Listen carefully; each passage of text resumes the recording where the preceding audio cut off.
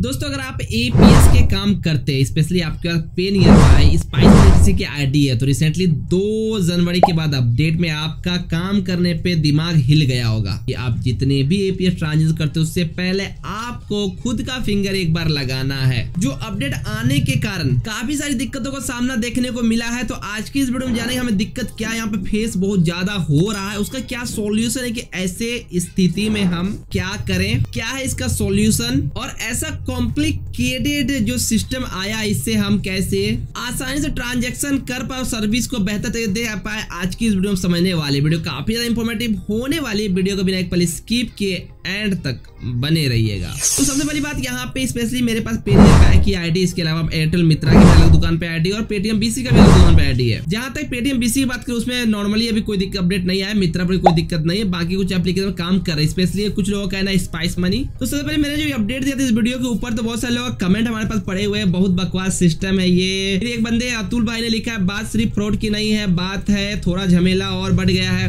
सही बात है कि आप जब एपीएस के काम करते हो तो आपको पेन और स्पेशली हमें आधार नंबर मैनुअली पुट करना पड़ता है, जो एक एक्स्ट्रा स्टेप हो जाता है। अगर वहाँ पे अगर आधार नंबर ऑटोमेटिक फिल होता बस एक बार एजेंट फिंगर लगाता और फिर उसके कस्टमर कोई दिक्कत नहीं। था अब यहाँ पे हमें तो प्रिपेयर करने के बाद हमें अपना आधार नंबर डालना पड़ता है। और ज़्यादातर दिक्कत तब खड़ा होता है जब बंदे का फिंगर मैच नहीं करता है। जैसे सामने मैंने एक ट्रांजेक्शन किया, यहाँ पे मैंने इनका फिंगर लगाया मैच नहीं किया फिंगर फिंगर डिट नॉच अब क्या होगा? दोबारा रिट्राई करेंगे तो फिर से हम खुद का फिंगर लगाएँगे, फिर कस्टमर का लगाएँगे। अगर फिर मैच नहीं किया तो फिर से हम अपना लगाए, फिर कस्टमर लगाए। एक थोड़ा सा ज़्यादा ही टाइम और कॉम्प्लिकेटेड यहाँ पे देखने को मिला कि आप एक बार हमने लगा दिया ना तो कस्टमर का ही लगना चाहिए जब तक तो फिंगर मैच नहीं कर। ये भी एक इशू देखने को बहुत ज़्यादा मेरी नज़र में आ रहा है कि किसी का फिंगर मैच नहीं करता दिमाग का दर्द हो जाता है कि हम बार बार अपने फिंगर को लगाते हैं।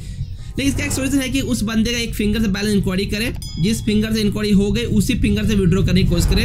तो आपके लिए एक राहत की बात है। अगर आप पेन का इस्तेमाल करते इसका सोल्यूशन जाना, जैसे कि मान लीजिए कि मेरा दुकान है, मेरे पापा के नाम से आईडी और मैं ही ऑपरेट करता हूँ, पापा कम टाइम दुकान में रहते हैं। अभी क्या होगा? एपीएस करेंगे, पापा हमेशा मेरे बगल में उंगली लेकर खड़े रहेंगे कि मैं जब ट्रांजेक्शन डिटेल भरा पापा उंगली लगाया। या फिर मेरी आईडी है, मेरा भाई ऑपरेट कर रहा है, अब क्या करूँगा? भाई के साथ हम खड़े रहेंगे हाँ भाई तू लगा डिटेल भर, उंगली लगाने के लिए मैं खा रहा हूँ बार बार उंगली लगाता रहूँगा।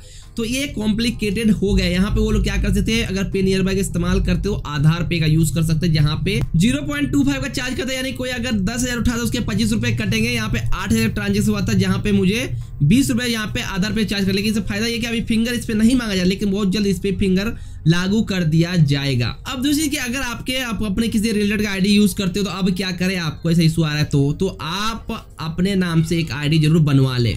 जो दुकान पे रहते उनको भी एक्स्ट्रा आईडी ज़रूरत पड़ जाए। क्यों? क्योंकि जब जिनके नाम से आईडी होगा शॉप पे नहीं रहेंगे और किन्हीं को छोड़कर जाएँगे तो बंदे कस्टमर तो आएँगे ना। आप रहो, ना रहो।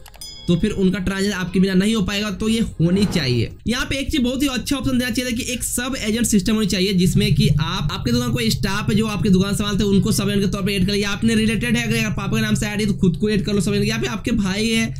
आप चलाते हो, भाई को चलाना तो उसको सब एड को, ताकि वो अपने आधार नंबर डालकर फिंगर वेरीफाई कर आपके रहने ना रहने पे वो मैनेज कर सके, एक सब सिस्टम होनी चाहिए था यहाँ पे, ताकि ये फिंगर बार बार लगाने की वजह हम ना रहे तो हमारी सर्विसेज़ जो है रुक ना जाए। यहाँ जो परेशानी आती है, वो आधार नंबर डालने की तो मैनुअली आधार नंबर डालने का ऑप्शन नहीं होना चाहिए तो वहाँ by default Aadhaar number show करनी चाहिए था। और बस मैं फिंगर रखूँ, उसके बाद मेरा वेरिफिकेशन हो जाए, उसका कस्टमर का आधार नंबर जो डाल के सिस्टम होती है, उसको आगे करना चाहिए। और साथ साथ अगर एक बार एजेंट फिंगर दे दिया तो कम से कम आधे घंटे, एक घंटे के लिए वो काम करे, फिर एजेंट फिंगर मांग ले, वो भी एक सही तरीका रहता अगर ऐसा कर पाता तो। लेकिन ज़्यादातर जो इशू आ रही है, वो फिंगर मैच नहीं करने की वजह से बार बार एजेंट जिस कारण मेरे पास कई सारे ऐसे बूढ़े लोग आते हैं, जिनका फिंगर पेंशन के लिए निकालना होता पैसा उनका फिंगर एक बार नहीं आता है। कभी कभी दो, तीन, चार बार आता है। तो होता है क्या, हमारा टाइम जो होता है जितने समय में हम अगर एक से ज़्यादा कस्टमर डील कर पाएँगे, वहाँ पे एक ही कस्टमर करते करते हमारा टाइम भी बहुत ज़्यादा लैप्स उस कारण से होगा। जिस कारण हमारे बाकी सर्विसेज़ का दुकान देते हैं तो उस पर इफ़ेक्ट पड़ेगा।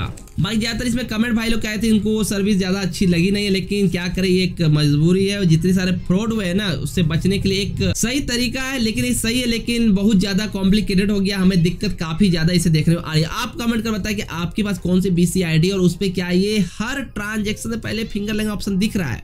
अगर दिख रहा है तो क्या आपके रहने दुकान नहीं रहने पे क्या आपको प्रॉब्लम आ रही है परेशानी आ रही है, या फिर ये ऑप्शन आपके लिए कितना यूजफुल है? या फिर यूजफुल नहीं है, हमें कमेंट कर ज़रूर बताया किन किन एप्लीकेशन ऊपर ये अभी तक देखने को मिला स्पेशली अभी जहाँ तक मुझे मिली है रिपोर्ट की स्पाइस मनी के ऊपर लाइव और पे नियर बाय जो सामने मैं दिखा रहा हूँ, वो अभी लाइव है। बाकी अगर आप एपी से पैसा निकाले तो उसे कैश में कैसे कन्वर्ट करो उस पैसे को? कैश रोटेशन कैसे करो उसके लिए अगर आपको वीडियो चाहिए सारे वीडियो चेक मिल रहा होगा आप चेकआउट कर सकते जहाँ पे आप निकाले हुए एपीएस पैसे को बिना कोई तामझाम बैंक ट्रांसफ़र किए कैश में कन्वर्ट कर सकते हैं। Thanks for watching this video